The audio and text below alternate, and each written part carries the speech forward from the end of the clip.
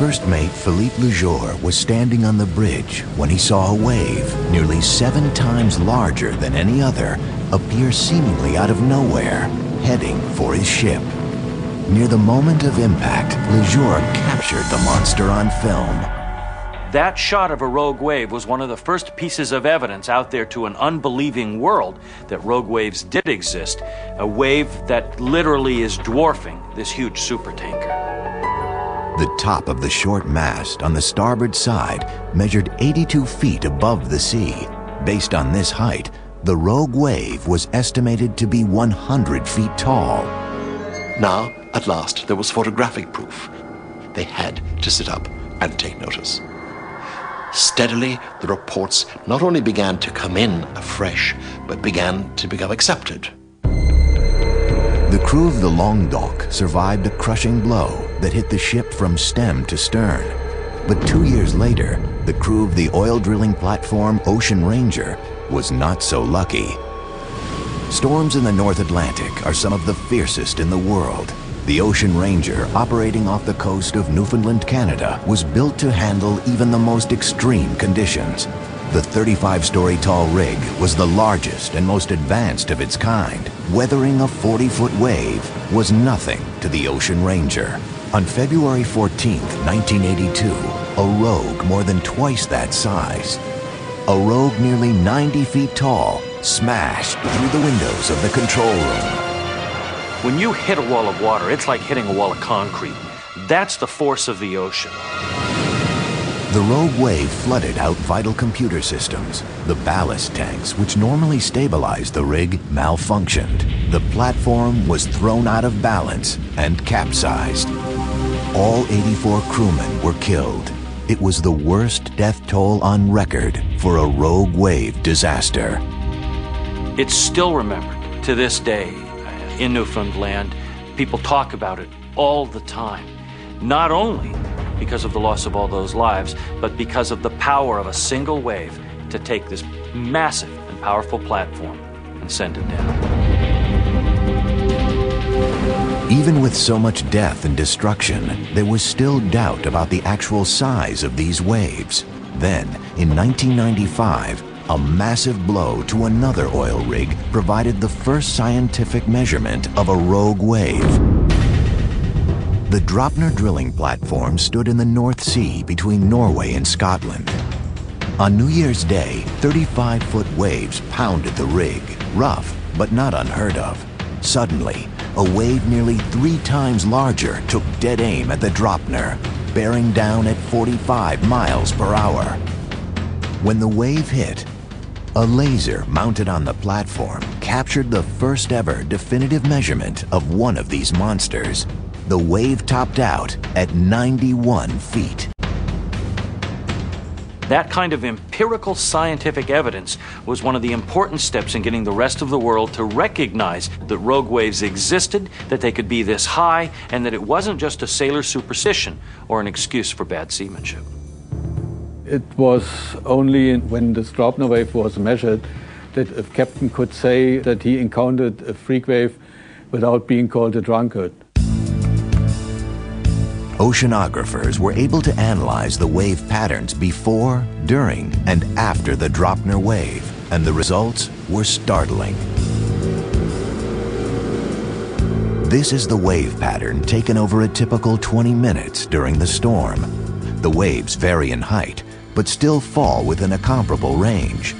But this is the pattern surrounding the giant wave. From this data, scientists were finally able to assign a definition to a rogue wave. It is a wave at least twice the size of any other wave in the area. A single startling event unconnected from other waves in the pattern. A true rogue. Basically comes out of nowhere. You don't see them coming. And at night, it's even worse. This answers what a rogue wave is. But the answer to what causes a rogue wave is more of a challenge. Here it comes. Follow that one. Using laboratory wave tanks to simulate conditions in the ocean, scientists are learning how rogue waves might be formed.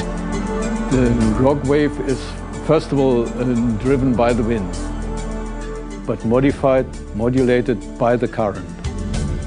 When strong currents collide with waves moving in the opposite direction, the wave can suddenly become compressed, thrusting it upward, forming a rogue wave.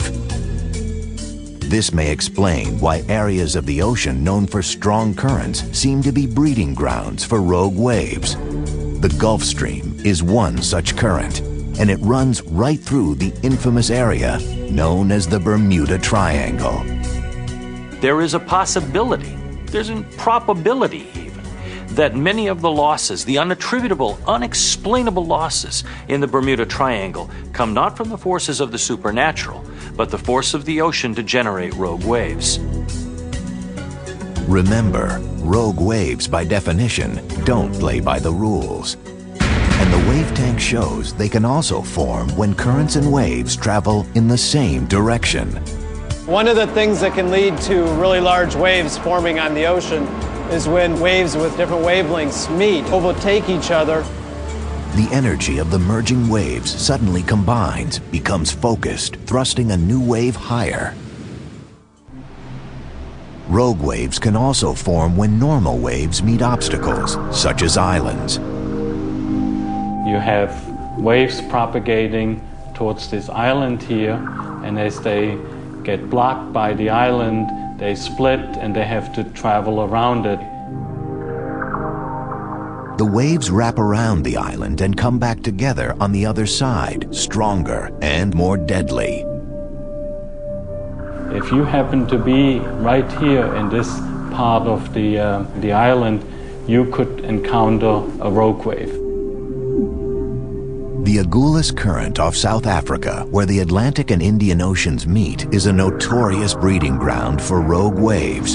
Here you have strong currents, opposing wave patterns, and also underwater obstacles far beneath on the ocean floor. As an example, here I have a simulation of what is called a shoal, which is just a hump on the seabed. And let's see what happens when waves propagate over this hump. This is the sort of phenomenon that could explain why in some places, like off the coast of South Africa, where there is a plateau and there is refraction and diffraction and bending of the waves so that they converge in certain areas and it could be creating very big waves in certain places. And there is another condition under which rogue waves form. It is the most insidious of all monsters the wave that occurs where there is no island, no undersea shoals or plateaus, no crossing currents, only calm seas, and still a monster wave rises up without warning.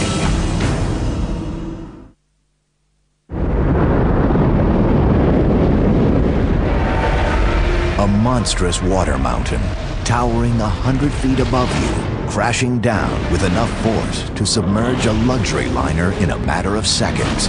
Difficult to imagine, but photos of storm-generated rogue waves prove these monsters do exist. Now, consider this. The same kind of wave with the same power appearing out of a calm ocean on a cloudless day. I never really believed in rogue waves before. It was uh, something that we would joke about on the bridge of ships. If somebody would uh, slip over the side or something, we joked that oh, rogue wave, and that's what that's what happened. But uh, now I've, I've, changed my uh, changed my point of view. Rogue waves happen even in calm seas, and in some cases, they're generated by storms hundreds of miles away, pushed and whipped by huge winds. These waves will build up to incredible height and then as they move out of the storm, continue on, even across a calm sea, to strike someone out of nowhere. November 4th, 2000, Point Arguello, California. Just such a swell, generated by a distant storm, slipped silently through calm Pacific waters toward the research vessel Ballena. The Ballena was built to handle rough seas, and Mark Pickett was a 20-year veteran of NOAA, the National Oceanic and Atmospheric Administration. It was a, a flat, calm, beautiful day off the Central California coast, and uh, I certainly would have never expected that uh, I would run into such a large uh, rogue wave, and it would, uh, it would change my life. The captain's assessment of the wave might have gone down as another tall tale from an inexperienced sailor, but Pickett had impeccable credentials. I operate research ships for NOAA, and I'm also a scientist. I have a PhD in oceanography, so I also do science for NOAA. Also on board the 60-foot vessel with Captain Pickett were scientist Dr. Guy Cochrane and electronics technician Michael Boyne. The usually turbulent waters were calm. The wind was at 10 knots with only 4-foot swells. I had both doors to the bridge wide open, and I had just taken off my uh, flotation jacket because it was, it was getting warm. When I looked out the port window, saw a, uh, a large wave coming our way, and I turned the boat into the wave and punched the throttles. And I absolutely expected that I should be able to punch through this wave or ride over this wave. But at 20 feet, the rogue wave was five times larger than any other wave in the surrounding area. And the speed with which it hit didn't leave any time for maneuvering. I hit it about a 30 degree angle and it picked up the bow of the boat and it flipped and twisted at the same time. In an instant, we were upside down and the ship filled with water. Pickett's fellow crew members were below deck, underwater, struggling to get out. The bridge doors were wedged shut by the wave's impact. I kept trying to push it open, and I, of course, was panicking as I wanted to get out of there and I was running out of breath. By sheer will, the three men eventually made it out and into a small life raft. But after paddling for nearly an hour with only one oar between them, they agreed their best chance for survival was to swim the short distance to the shore. The water was cold. We had all our clothes on. We were exhausted from escaping from the overturned vessel and trying to paddle. And uh, once I got to shore and I turned around and looked back out, the, uh, the two other people that were with me were not making it. And they were in the process of uh, of going under and drowning. There's no more terrible thing in the world, particularly to be the captain, to be the person in charge, to be responsible to look out there and to see somebody dying, and to know that you have to go. There's an old saying in the Coast Guard you have to go out, but you don't have to come back. Captain Pickett did go back out and rescued both drowning men. So the three of us survived the incident with minor injuries and the loss of the vessel, but no loss of life. For his heroism, Captain Pickett was decorated with the highest honor from the U.S. Department of Commerce. The people, especially the mariners who have survived freak waves, are quite traumatized. Even many years after the event, they really do have post traumatic stress disorder. That's how terrifying the experience is. You think you understand the ocean. You think uh, you have the respect for the ocean, but you, you never think that uh, something like this will occur and turn your world upside down, uh, nearly kill you, and nearly take away a couple people's lives who uh, were depending on you. And going through that and, and, and living that is a, it's a difficult, difficult experience, and it's difficult for me uh, to think back and to go back over it. It's amazing power in the ocean for something just to come out of nowhere and completely destroy a boat in a matter of seconds. After incidents like Mark Pickett's trained observations about the rogue that destroyed his research ship, the scientific community accelerated their efforts. Could similar freak waves explain some of the great unexplained shipwrecks of the past? Could the mythology of the ancient mariners have a basis in the reality of rogue waves? In the past, you're sailing along in a small wooden vessel, and suddenly this massive wall of water comes along. And if you live through the experience, you have to have been filled with a superstitious awe and a fear. What could have created this? This is where the idea of the sea monster comes from some creature from the depths, smacking the ocean with its tail, moving in a vast amount of water with the bulk of its monstrous form. This is what made rogue waves in the minds of ancient mariners. When you start looking for clues through marine history, you find them. 1951, the North Atlantic. Captain Henrik Carlsen radioed that his cargo ship, the Flying Enterprise, had been hit by a force he cryptically referred to as a heavy sea. At the time, he did not call it a rogue wave. Carlsen didn't want to be written off as just another drunken sailor. His ship cracked amidships. A crack appeared, as if somebody had taken a meat cleaver and hacked down on the ship right in the middle of the ship. Carlsen and his crew managed to shore up the ship enough to keep her afloat. Carlsen had the wit to send his men out to start winching the ship with wires closed from one set of bollards to another. And when he got them closed by about three quarters of an inch, he then stuffed that crack with concrete and had them build a breakwater over it. Amazing. The ship stayed afloat, but 28 hours later, the Flying Enterprise was hit again by a second rogue wave, believed to be 65 feet high. The mast snapped, all the radio antennae went. The actual metal plates of the ship cracked. That is an indication of the sheer force. It's like liquid hell breaking loose.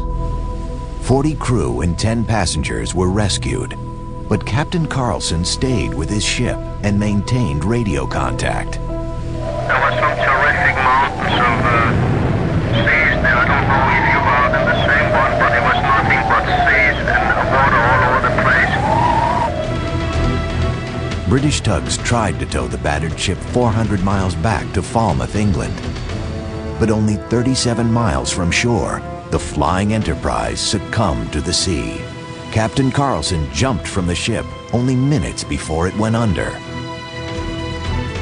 Back home, he was greeted as a hero. His belief that he had been hit by not one, but two rogue waves, he kept to himself.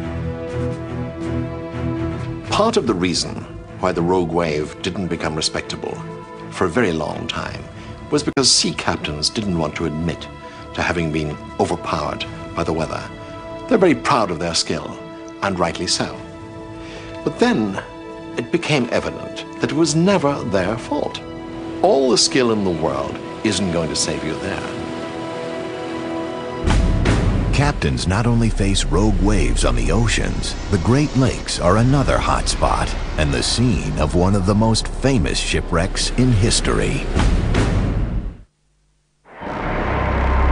November 10th, 1975, the Edmund Fitzgerald, a freighter carrying supplies for the steel industry, ran into a horrendous storm on Lake Superior. The Great Lakes of North America literally are an inland sea, and every mariner that sails them knows that. They build up waves that equal anything that you'll find out in the open ocean. So it'd be no surprise then to most to learn that there are rogue waves on the Great Lakes. At nightfall, the Fitz, as she was known, suddenly ran into trouble. Storm waves knocked out her radar and damaged the ship. Her captain, Ernest McSorley, told a nearby ship, the Arthur Anderson, that he was in trouble but in control. The Anderson reported back that two large waves were heading toward the Fitzgerald's location. Then, in just a matter of minutes, the Fitz disappeared, as did all 29 crew members. The last contact we had with him, he said, well, he was going along fine and holding his own and no problems. And then when we we couldn't see his lights, we figured we should be catching him a little bit because he checked down and then he just didn't wasn't there. And it is possible, if a rogue wave struck the Fitzgerald or if two struck, that it literally would have torn her in half and sent her to the bottom. Six months later, the United States Coast Guard found the wreck of the Edmund Fitzgerald at the bottom of Lake Superior. It was split in two. The Edmund Fitzgerald was found at 500 feet of water, and she was completely mangled. Now, what kind of force did that? What kind of weight of water? What kind of energy? What kind of massive nuclear force made of water and wind ripped a ship that strong apart so completely? The Coast Guard was unable to definitively say exactly what sank the ship, but in more recent years, the National Oceanic and Atmospheric Administration has documented rogue waves in the Great Lakes. And in that area off Whitefish Point where she was lost, there you can have the kind of forces that would build up to create a rogue wave. The re examination of historical shipwrecks was yielding alarming data. Naval architects studying ship disasters between 1969 and 1994 found that during those 25 years, 60 supercarriers went down due to sudden flooding. On closer study, it was determined that more than a third of the sinkings were probably caused by rogue waves. To try to head off new disasters, scientists needed to figure out the frequency and location of rogue wave strikes. Monitoring the world's oceans was virtually an impossible task until the early 1990s when the European Space Agency launched Twin Earth Observation Radar satellites, ERS-1 and 2. With satellite technology, international research facilities can precisely pinpoint a particular part of the ocean and map wave activity under any conditions. This satellite is a radar satellite, therefore it has the capability of imaging the sea surface even at night and through the clouds. So that is very important if you want to see very high waves, you want to be uh, watching the sea surface in storms, and so therefore a radar satellite is the optimum instrument to do that. And then we use these images and translate them into sea surface, sea surface height, and we investigate the wavelengths, the crest length, the steepness of the wave, and the maximum wave height. The results of the satellite research have been startling, smashing the mathematical model suggesting a 100 foot rogue wave is a once in 10,000 year event. For example, studying a 12 year period of wave activity in the area of the North Sea where the Draupner oil rig was hit, researchers measured 466 rogues. Then, in 2001, two cruise ships traveling around the Horn of South America, the Caledonian Star and the Bremen, were both struck by rogue waves in one 10 day period. In each hit, the wave smashed into the ship's bridge over 80 feet above the waterline. Scientists analyzed global satellite ocean data for the three weeks before, during, and after the Bremen and Caledonian Star incidents.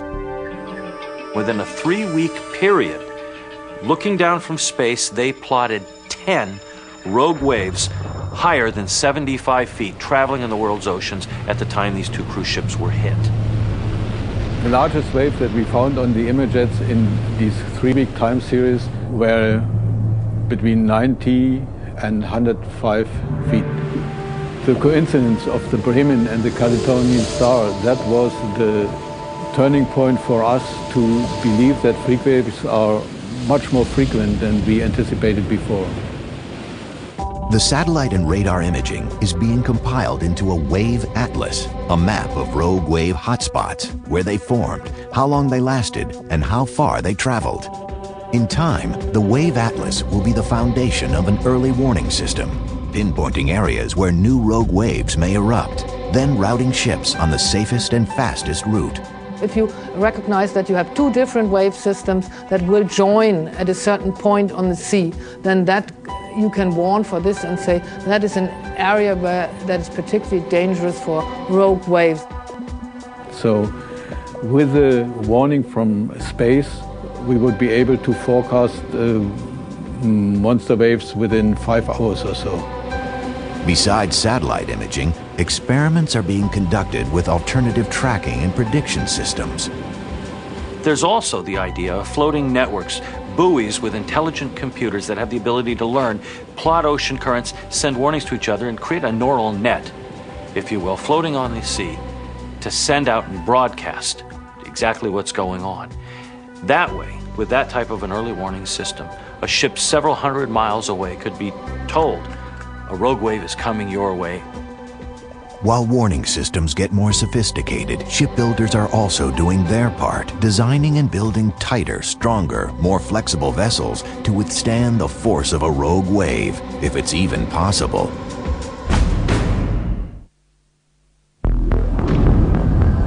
Rogue waves strike without warning, seemingly out of nowhere. That is why the images we have of them are nearly all before and after what we don't have, with a few rare and grainy exceptions, is what happens during the horrendous crash of a rogue wave disaster. The closest we can come is in the 2006 motion picture Poseidon. What would it look like if a 120-foot rogue wave hit a modern cruise ship broadside? That was the question director Wolfgang Petersen asked the visual effects wizards at ILM, Industrial Light and Magic. I like ILM for that because they really want to go make it real. Not put some nice effect things together that look great, but this is how it happens. And they study it and they do it in a scientific way. And when they figured it out then, then they make it spectacular.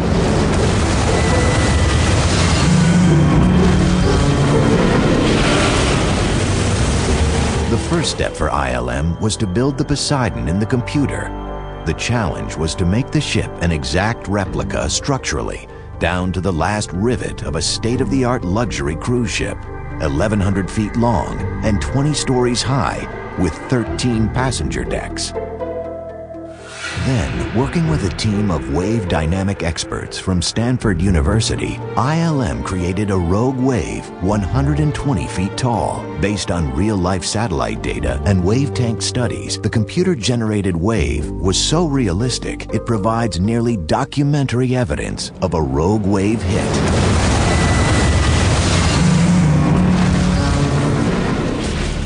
This was no simple challenge, since realistic water is the most difficult image to create digitally.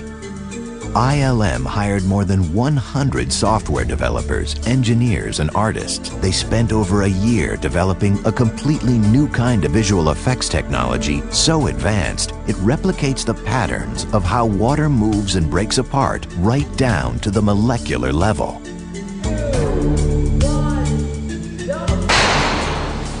Then, to recreate the violent crush of water, Petersen and his special effects team decided there's nothing like the real thing. The entire ballroom was flooded within a few seconds. This was not visual effects. This was 90,000 gallon, gallons of water flying through the windows. Quite amazing. With visual and special effects artists, Poseidon graphically portrays what could happen in a rogue wave disaster on a real ocean cruise. When you take a cruise, the first thing you notice as you go on board is how high this ship is off the ground, off the water. They are huge. And then you ask yourself, is it possible that a wave could knock this thing over on her side?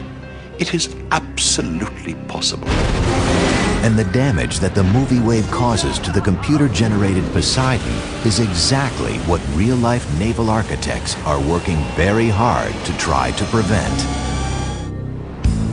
Ships are a crucial component of the world economy. 95% of everything we buy gets to us by ship. And over 10 million people a year vacation on cruise ships. That's a big incentive to build ships that won't be crushed by large waves ships have to be designed to accommodate that kind of force that can just lift a house up off its foundation and carry it away. A ship is expected to rise up over that and just continue on its, its merry way as if totally unaffected by that. A 36-foot raging storm wave strikes with the force of about 6 tons per square yard. Most ships can withstand 15 tons without damage. But a 100-foot rogue wave strikes with a force of 100 tons, almost twice the power of an industrial car compactor. Right now, naval architects build ships to a certain standard. That is, they know the type of stresses a ship's going to undergo in a storm, and they build to meet that and to exceed it in most cases. The question now is should they build ships to withstand the force of rogue waves? One of the biggest structural challenges for naval architects is when rogue waves strike high on the bow, smashing through windows on the bridge and upper decks. Then the windows are hit and then break, and then the electronic gets flooded and the ship can't maneuver. Redesigning the bridge and its windows to deflect these hits is one solution. The Queen Mary II, launched in 2003, is an example. The $800 million cruise ship was fitted with a thicker forward hull, an enhanced bridge screen, and more pronounced flare of the bow to protect it from large waves.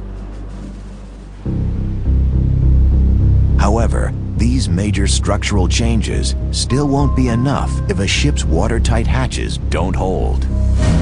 When a ship hits a big wave and it goes through that wave, we oftentimes call that going submarine.